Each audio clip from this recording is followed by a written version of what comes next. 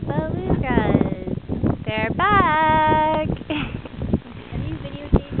yeah, yeah. Kristen came out with us today to help us bear guard.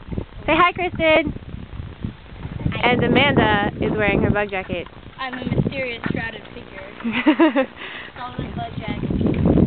it's a beautiful day on the coast because the ice is all gone. Oh, except for that little bit over there.